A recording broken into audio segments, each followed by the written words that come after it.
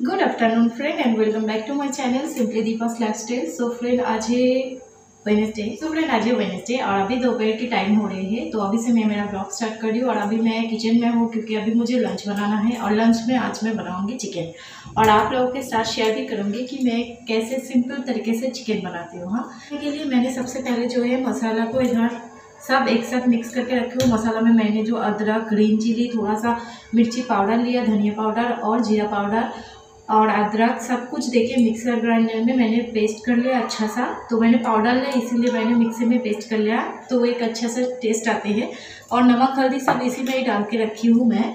और इस साइड में मैंने एक बड़ा साइज़ का टमाटर लिया। तीन प्याज लिया अभी तक इसको कट नहीं किया।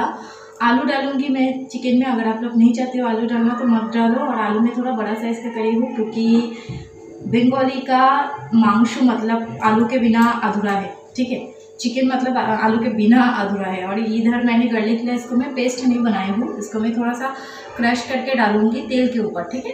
तो चलो, बना लेती हूँ। इस साइड में है चिकन जिसको मैं धो के रखी हूँ, वो भी इस साइड में ही। तो सबसे पहले जो है, मैं आलू को फ्राई कर लूँगी। तो एक एक करके कर लेती हूँ, उसके बाद तो सबसे पहले मैं मस्टर्ड ऑयल में आलू को फ्राई करके रखी थी। उसके बाद मैंने थोड़ा सा जीरा और तेज़पत्ता डाल दी हूँ। उसके बाद लहसुन को डाली हूँ और लहसुन थोड़ा सा फ्राई हो जाती है ना थोड़ा सा रेड रेड हो जाते हैं। उसके बाद मैं अनियन डाल दी। तो अनियन को मैं अच्छी तरह से फ्राई करूँगी। अनियन अच्छी तरह से फ्राई हो जाए, उसके बाद जो मसाला मैं रेडी करके रखी थी, वो मसाला भी मैं डाल दूँगी। और फिर अच्छे से इसको फ्राई करना है। कोई कोई मैरिनेट करके बनाते हैं, पर मैं जब भी चिकन बनाती हूँ तो मैं ऐसे करके ही बनाती हूँ। तो देखो, मसाला जो है, अच्छी तरह से फ्राई हो जाए, तेल निकल जाए इसके अंदर से, उसके बाद मैं इसमें चिकन डाल दूँगी हाँ। और चिकन के अंदर मैं कुछ भी नहीं डाली हूँ, चिकन पूरा एकदम धो के मैं रखी हूँ, ना ही लेमन जूस या फिर विनीगर वगैरह या कर्ड वगैरह कुछ भी नहीं डाली हूँ। तो मसाला फ्राई होने के बाद मैं चिकन डाल दी हूँ। अभी ढक दूँगी। उसके बाद थोड़ा सा जब पानी सूख जाएगी ना, तब मैं टमाटर काट के इसमें ऐड कर दूँगी। तो टमाटर से थोड़ा सा पानी निकल जाएगी। उसके साथ चिकन जो है ना, अच्छी तरह से फ्राई हो जाएँगे और बॉयल भी हो जाएँगे। हाँ उसके बाद देखो, टमाटर भी अच्छी तरह से फ्राई हो चुकी है बॉयल भी हो चुकी है। आप लोगों को दिखने को भी नहीं मिल रहे हैं टमाटर। तो मैंने आलू भी डाल दिया। तो आलू के साथ इसको अच्छी तरह से मुझे फ्राई करना है। मसाला, आलू चिकन सबको एक साथ, उसके बाद में गर्म पानी डाली हूँ। और मैं जब चिकन को फ्राई कर रही थी मतलब कि कौशा नो जिसको बोलते हैं, तब भी मैंने गरम मसाला डाल दिया। तो चिकन आलू जो है, अच्छी तरह से बॉईल हो जाए, उसके बाद जो चिकन है ना, वो पूरा रेडी है। एकदम सिंपल तरीके से मैं बताई हूँ आप लोगों को। आई होप कि आप लोगों को पसंद आई है। गुड मॉर्निंग फ्रेंड तो फ्रेंड आज next day thirty first December तो फ्रेंड आज जो है, मैं सुबह से ही ब्लॉग को फिर से स्टार्ट कर रही हूँ। कल आफ्टरनून मतलब कि लंच करने के बाद से मैं आप लोगों के साथ मिल नहीं पाई थी। इसका भी एक रीज़न है, क्योंकि मैं भूल ही चुकी थी कि मैं ब्लॉग को स्टार्ट किया। तो खाना खाने के बाद मैं भी मून के साथ सो गई थी। फिर मैं एकदम से उठी तो ही नींद मतलब कि शाम के वक्त हाँ तो तब से और नहीं किया था ब्लॉग को कंटिन्यू तो आज सुबह से फिर से कर रही हूँ। और अभी जो है मैं नहा के आ चुकी हूँ भगवान को पूजा भी देना हो, हो गए है। और मैं अभी बना के लेके आई हूँ दो एक का पोच बना के लेके आई हूँ। एक मैं खाऊँगी और एक मून को खिलाने के लिए हाँ। और मून को ना एक पोच अच्छे लगते हैं पर कभी कभी जब भी उसको मूड रहते खाने का तब खाते हैं। हाँ नहीं तो नहीं खाते पर आज मैं खिलाऊँगी उसको। तो चलो मून को खिलाने के लिए बैठी हूँ मैं। और मैं इधर दो एक पोच करके लेके आई थी। कि मून एक खा लेगी तो एक जो है मैं ब्रेकफास्ट में ले लूँगी क्योंकि ब्रेकफास्ट में अभी तक मैं कुछ नहीं ली हूँ इसके लिए। और मून हाफ़ से थोड़ा ज़्यादा खाई थी। एकदम हल्का सा ही वो रख दिया था। उसको ऐसे लग रही थी कि उसको उल्टी हो जाएगी, इसके लिए मैंने दिया नहीं। तो साइड में मुझे पानी का बॉटल जो है ना वो लेना पड़ती है पर उसको छुपा के रखना पड़ती है। अगर मून को दिख जाती है ना तो एकदम से भी वो खाते नहीं है। बार बार उसको पानी पीना ही होते हैं, ठीक है? तो इसीलिए मुझे रखना तो पड़ते है, पर छुपा के रखना पड़ता और पता है, अभी तक मुझे पता भी नहीं है कि आज मुझे ऐसा एक न्यूज़ सुनने को मिलेगी। और अभी जो है मून सो रहे है, फिर मुझे अभी लंच बनाने के लिए भी जाना है। फाइनली मून सो गए हैं, अभी मुझे खाना बनाने है। उसके पहले एक झलक मेरा लिविंग का हालात देख लो। इसको भी क्लीन करना है, पर अभी नहीं, अभी जाऊँगी किचन में खाना बनाने के लिए और आज मैं पूरा वेज बनाऊँगी। और मून को सुबह मैं जो ये खिला रही थी ना, क्या बोलते हैं? एक पूछ तो वो उसने खाया। थोड़ा इतना इतना सा मैं खा लिया। मतलब पूरा वो नहीं खा पा रही थी। जैसे उल्टी करने की फिर आ रही थी, उसको ऐसे हो रहे थे। तो इसीलिए मैंने उतना छोड़ दिया। जितना खाया उतना बहुत अच्छा है मेरे लिए। और उसके बाद जो है नह, नहलाया, फिर खिलाया, खिचड़ी खिलाई अभी तो खिलाने के बाद। मैंने क्या करके आप लोगों के साथ खिलाने के बाद अभी मैं खाना बनाने के लिए आई हूँ और कितना पागल हो रहा तो देखो। इधर ऑयल जो है ना पूरा ये हो गई थी, मुझे फ्राई करना है।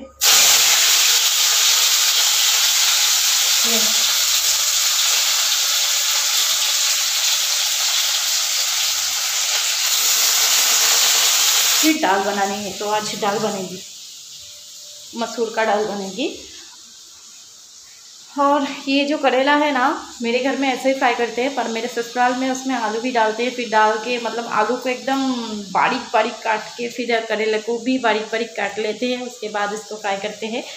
पर क्या होते है कि ससुराल में वो बोठी रहते हैं ना, उससे करते पर वो नाइफ से ना होते नहीं है। मेरे से तो होते ही नहीं है। कभी कभी बनाती हूँ मैं, ऐसे जो नाइफ है, उससे ही कट कर लेती हूँ, थोड़ा बड़ा बड़ा साइज़ में तो कट बना लेती हूँ, क्योंकि एक ही टाइप का अच्छा नहीं लगता है ना इसीलिए। और इसलिए मैंने सोचा कि आज जो है थोड़ा सा कम उम्र की थी, ये जो करेला है ना, ये उम्र थोड़ा सा कम है हाँ इसके अंदर इतना ज़्यादा सीध नहीं है। तो इसके लिए मैंने सोचा कि इसको ऐसे ही फ्राई करते हैं, और डीप फ्राई करेंगे ना तो बहुत अच्छा लगता है गर्मा गर्म राइस के साथ खाने में हाँ। और बस करेला को ऐसे फ्राई कर लेंगे, आलू देख के गोभी को फ्राई कर लेंगे मतलब कि कॉलीफ्लावर जो है वो तो हो जाएगा और डाल यही जाएगा हमारा आज लंच में। और इस साल का ये लास्ट डे है।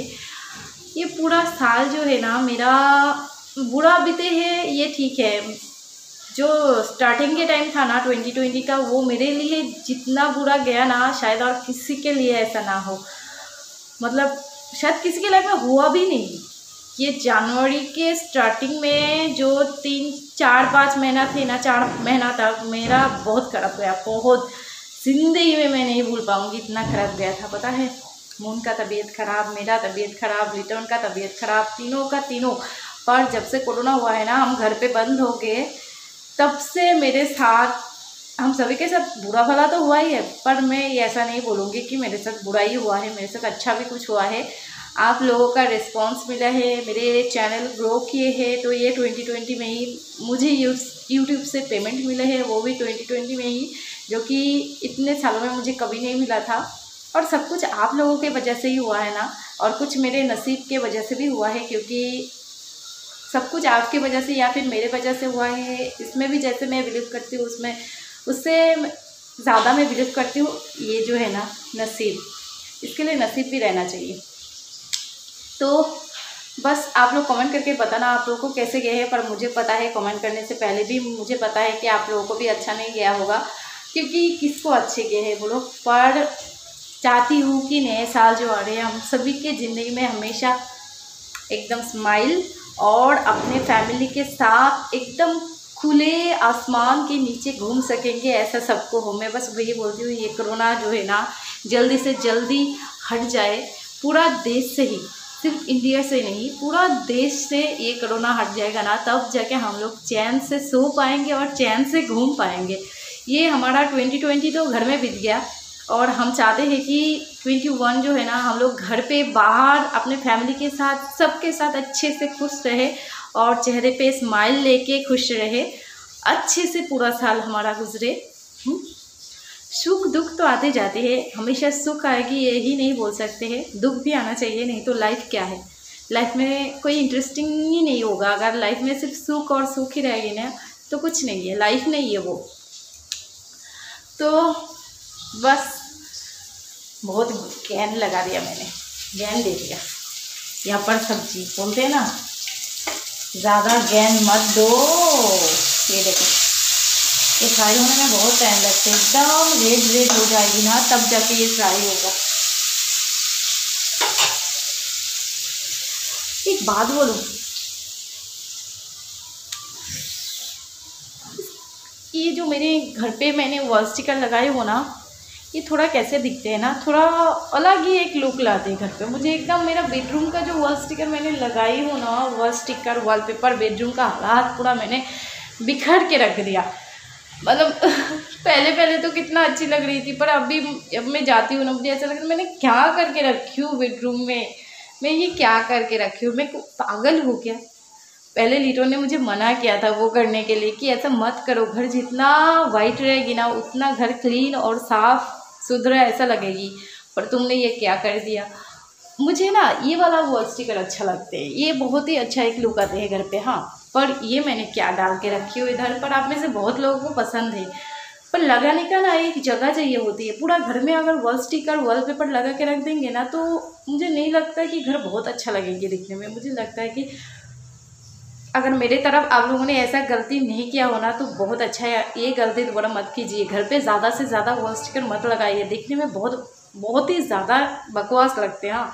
कैमरे में थोड़ा सा शायद आप लोगों को अच्छा लगे, पर रियल लाइफ में जब आप देखते हो ना, हमेशा अच्छा नहीं लगते, पर हमेशा ना आँखों के सामने कलरफुल अच्छा नहीं लगते, पर हमेशा आँखों के सामने थोड़ा लाइट कलर बहुत अच्छा लगते, पता है? सबको ऐसे तो नहीं है कि मुझे लाइट कलर पसंद है तो आपको भी पसंद आएगी, पर आपको जो भी कलर पसंद है वो एक ही कलर रहना चाहिए। हमेशा घर पे इधर उधर इधर उधर हाँ एक मल्टी कलर हो गया मेरे घर पे। मुझे एकदम पसंद नहीं आ रहे थे, पता है? अंदर जाके बहुत कम लोग ऐसे सुनते हैं तो स्किप करके करके चल जा, चले जाते हैं। तो मुझे लगता है कि, अरे, मैंने शायद थोड़ा सा ज़्यादा ही बातें कर लिया पर आपको कैसे बताऊँ? मैं बातें नहीं करती, मैं इतना ज़्यादा मतलब घर के अंदर आप लोगों के साथ ही जितना करती हूँ। लीटोन भी नहीं रहती है और लीटोन के साथ अगर ज़्यादा बातें करूँगी ना तो बोलो, क्या पागल हो गई हो क्या? इतना क्यों बातें कर रही हो? इतना क्यों बातें कर रही हो? ऐसे बोलते। तो किसके साथ बातें करूँ? इसलिए मैं आप लोगों के साथ ही बातें करती हूँ। हाँ और मैं कुछ तो अच्छा अच्छा अच्छा। कल ना हम्म, आ, मैंने ना एक लकी बैम्बू है ना वो लाने के लिए गई थी हाँ। पर ऑनलाइन पे उसका प्राइस बहुत ज़्यादा है ठीक है। हम्म, मैंने दुकान से लेने के लिए मतलब बाहर जो हम्म, बेचते हैं ना उधर से लेने गई ना तो वो उसका प्राइस लो है। वो इतना बड़ा सा था हाँ। कैसे दिखाओ मतलब इतना बड़ा सा ये देखो इतना बड़ा सा था हाँ। तो उसका प्राइस जो है ना मुझे वन एट्टी बोला था पर मैं उसको वन एट्टी में ही लेने गई थी हाँ। फिर मेरे साइड में एक औरत थी, एक लेडी थी, जो कि मेरे मेरे से बड़ी है, बहुत बड़ी है हाँ। तो एक ओल्ड वोमेन बोल सकते हो हाँ वो थोड़ा सा उम्र हो गया उसका, पर उसने मुझे ना मना किया, उसके सामने कि आप तुम अगर ले रहे हो तो वन एट्टी का क्यों ले रहे हो? ये वन एट्टी का नहीं है, ये तो हंड्रेड में मिलते हैं। उसके सामने ही मुझे बोल दिया, मैं बोल रही हूँ, अरे, भगवान ने मुझे बचा लिया। अरे कितना अच्छा है ना वो लेडी देखो।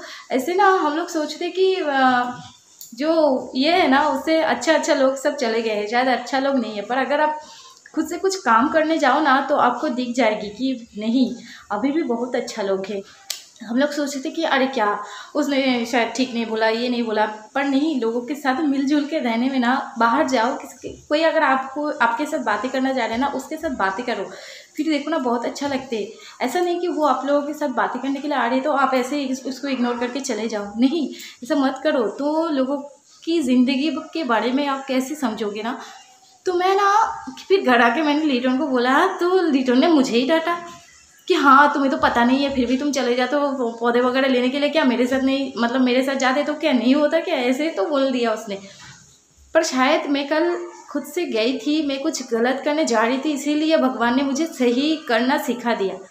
नेक्स्ट टाइम मेरे से कोई गलती नहीं होगा। नेक्स्ट टाइम तो ऐसा कोई अच्छा लेडी मुझे सावधान करने के लिए नहीं आएगा, पर मतलब वो लेडी बहुत ही अच्छा था। उसने तो मुझे उसके सामने ही बोल दिया, वो पौधे वाले के सामने मुझे बोल दिया, अरे, क्या कर वन एट्टी में ले रहे हो? ये तो वन एट्टी का है ही नहीं, ये तो वन हंड्रेड में तुम्हें मिल जाएगा, कोई और ही तुम्हें दे देगा वन हंड्रेड में। फिर ना वो जो पौधा वाला बेच रहे थे ना, फिर उसने बोला कि, ठीक है ठीक है, वो वन हंड्रेड में लेके जाओ। फिर मैंने बोला, नहीं, वो लेडी जब मुझे सावधान किया ना तो मुझे नहीं लेना चाहिए, अभी मैं जा रही हूँ, मैं बाद में लूँगी। हाँ। फिर मैं अब लेके नहीं आई थी, बाद में देखूँगी। अगर उससे भी कम मिल जाए तो उससे भी कम में लेके आऊँगी ना। बोलते हैं ना, हम लोग के अंदर चोर बहुत रहते हैं। उसने मुझे इतना अच्छे से बोला, हंड्रेड में मिल जाएगा और मैं क्या सोच रही हूँ कि मुझे उससे भी कम में मिल जाएगी। अभी तो मुझे मिलेगा ही नहीं, देखो।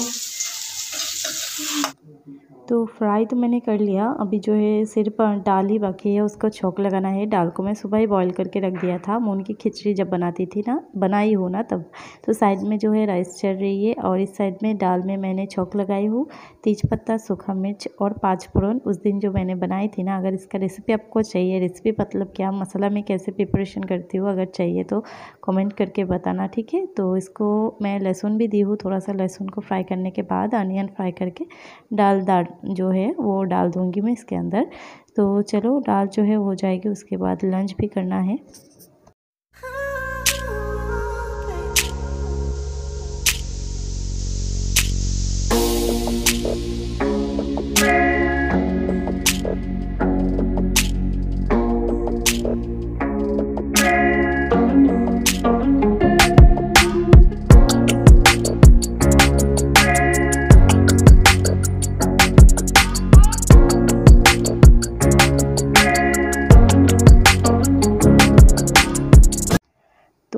प्याज दाल और करेला फ्राई है और गोभी, आलू की फ्राई। बस यही है सिंपल सा लंच, क्योंकि कल जो है चिकन बनी थी ना, इसीलिए आज एकदम सिंपल सा है लंच में। और चलो किचन जो है अभी तक मैंने क्लीनिंग नहीं किया है, क्योंकि ऐसा रहता है कि मोन उठ जाएगी, इसके लिए थोड़ा सा आवाज़ हो जाएगी। इसके लिए मैंने सोचा कि ठीक है, चलो मून उठ जाएगी, उसके बाद ही किचन को क्लीन कर लूँगी। बर्तन भी है जिसको धुलना है तो पता है मून उठ भी गए थे अभी तो मून के साथ थोड़ा सा मस्ती कर लेती हूँ, क्योंकि वो जब उठते हैं ना तो उसके साथ थोड़ा सा मस्ती करने में ना, उसको एकदम फ्रेश फील होते हैं, उसको अच्छा भी लगते हैं, बहुत टाइम से सोए थे डेढ़ दो घंटा तो हो ही गए हैं तो उसके साथ थोड़ा सा मस्ती कर रही थी, उसके बाद वो फिर से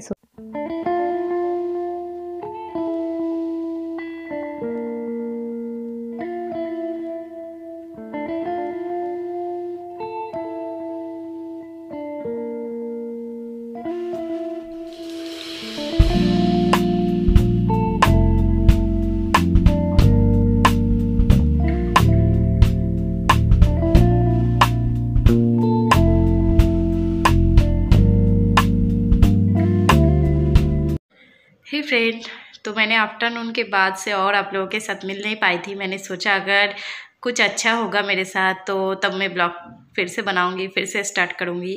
पर ये साल जो है ना, एकदम तो अच्छा गया ही नहीं, और जाते जाते और एक बैड न्यूज़ दे के फिर चले जा रही है। अभी तक गया नहीं, अभी जो है ग्यारह बजे है। पर मुझे ये जो खबर है ना, कुछ टाइम पहले मिले हैं। देखो, ये जो साल है जाते जाते भी मुझे एक बैड न्यूज़ दे के जा रही है। तो मैंने तो दो पैर के बाद से आप लोगों के साथ मिला ही नहीं, क्योंकि मैं बाहर भी नहीं गई, घर के अंदर भी नहीं रही। एक ऐसी बात सुनी हूँ ना कि पता नहीं मैं खुश होंगी या फिर दुख हो जाऊँगी। मतलब दुखी हो जाऊँगी या खुशी हो जाऊँगी, मुझे ही नहीं पता। नेक्स्ट ब्लॉग में मैं बताऊँगी कि वो जो न्यूज़ है, वो क्या है। पर बस और कुछ बातें नहीं करना है अभी। वीडियो को एडिट करना है। ब्लॉग को एंड भी करना है। सो so फ्रेंड चलो वीडियो तो अगर थोड़ा सा भी अच्छी लगी है तो लाइक और सब्सक्राइब करना तो बनते हैं। और न्यूज़ क्या है अभी नहीं बताऊँगी डिटेल्स में। नेक्स्ट ब्लॉग में बत, मैं बताऊँगी। नए साल में बताऊँगी। पता नहीं ये मेरे लिए नए साल में गुड होगा या बैड होगा।